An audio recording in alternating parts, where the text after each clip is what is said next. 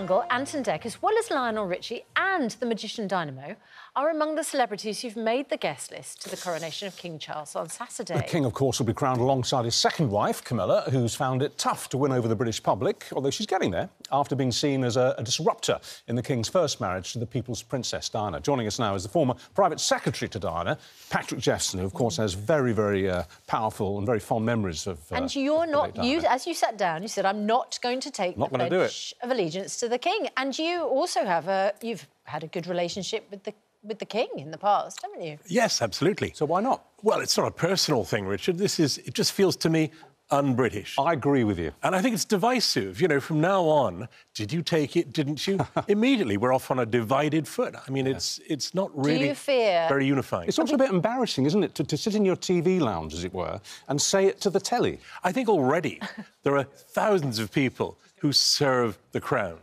without having to take any fancy oath of allegiance. They just get on with it we just don't in do their that, lives. Do we? we just don't do that. You know, the armed forces, the emergency services. We don't need people to tell us, you've got to say this.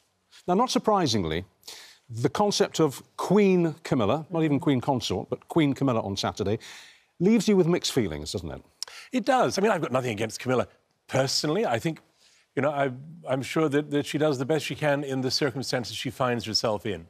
My concern, and it's rather more to do, I suppose, with relations between the monarchy and the media.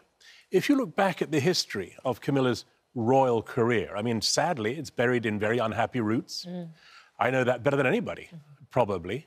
Um, people would say to me, Do you know Camilla? I said, Well, no, but I mean, I kind of knew all about her and lived with her because working for Princess Diana, of course you knew about Camilla. Of course you knew the effect that Camilla's existence had on Princess Diana. Well, as you say, you know that better than anybody. And what and how did that? I mean, we, you know, we've watched The Crown, mm. we've seen the interview, we've read the book. You were there in the room with Princess Diana, as she must have explained how yes. she was. But I think what matters more today, and I mean, there'll be lots of people to say, "Oh, it was all an awfully long time ago," which is a funny thing to say at the time of a coronation, but people do say it was a long time ago. We've all got to move on.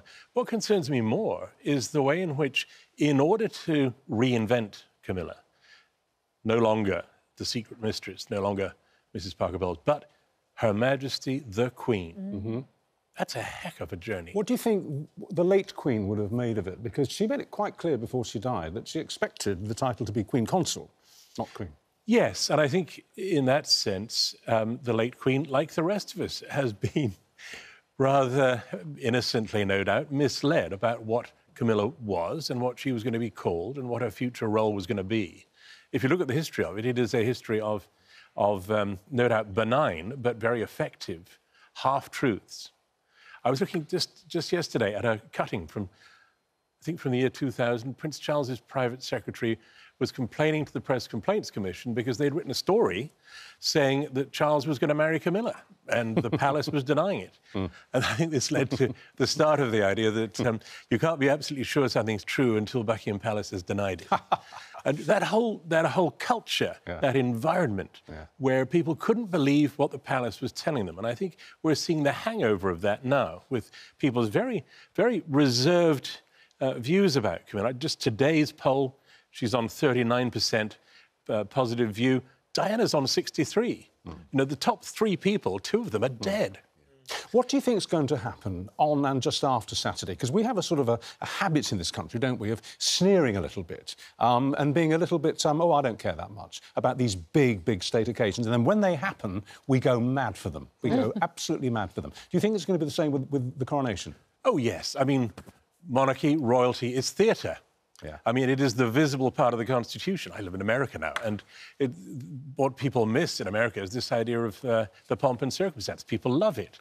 Uh, and, you know, I, have got a military background. I love seeing uh, the, uh, the services out doing their yeah. wonderful, fantastic um, uh, duty. I mean, and it's a very tough duty on the day. So people will, of course, enjoy the spectacle. I will enjoy it.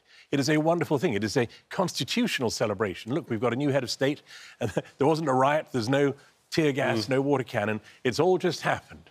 And OK, it's not a popularity contest, it's not even democratic, but it suits the British system. Yeah. Do you, do you think the monarchy is, I mean, Owen suggested that polls show that it is not going to last many more decades. Do you think so? well, I'm a lot older than Richard, but I can remember the Silver Jubilee, Stuff the Jubilee. Do you remember Stuff yes, the I do remember that. Actually. I mean, yes, is, yeah, yeah. There, there, have always been opponents. I mean, Charles I had his head chopped off in did. Whitehall. So, you know, it, it can happen again. Not perhaps the execution, but if, Interesting caveat. if, not perhaps the execution, but Yeah. if if the royal family lost mm. public support significantly, that would be reflected in politics. I must ask you this be- mm. before we run out of time. If we could bring Diana back for a while, what would she make of what's happened with Harry? What would she say about it, do you think? Mm. Well, I think uh, she would, as any mother, I hope would. I mean, she would be the first to at least try to understand what's motivating him, what's concerning him, what's upsetting him. From my observation, Harry is upset. He's angry about the way the two most important women in his life have been treated his wife and his mother. Uh, now, we can disagree with that or, or debate whether he's right or wrong, but that's how he strikes me. He's an angry man. Um, and I'm sure that Diana, who had a, you an unconditional, unbounded love for her children, but had her own experience too of dealing with hostile media, um, difficult royal family, a lot of difficult personal choices. Uh, I think she is greatly missed, not just by Prince Harry. I mean, it's ironic, isn't it, Richard? Because you say if we could bring Diana back, Mm. what would she think? But of course, a huge part of what Harry feels and his grievance Oh, precisely. is because she died.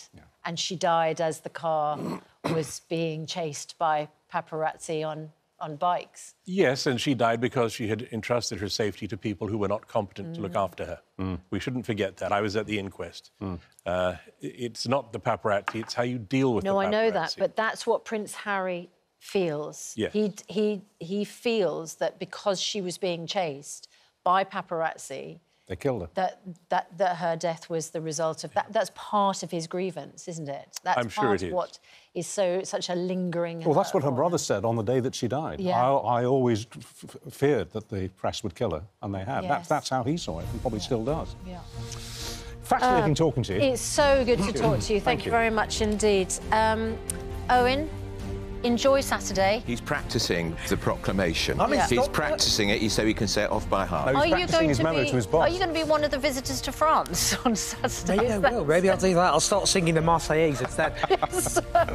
Are you actually going to do it though, Andrew? Because it is a bit cringe. Come on, even you. I'm, I'm going to keep you all in suspense. Oh, we'll find out uh, when we report on the coronation because we're live at Westminster Abbey this Saturday for a very special Good Morning Britain coronation show, kicking off the whole day of coverage on ITV from six o'clock in the morning. Do join us, an incredibly special day.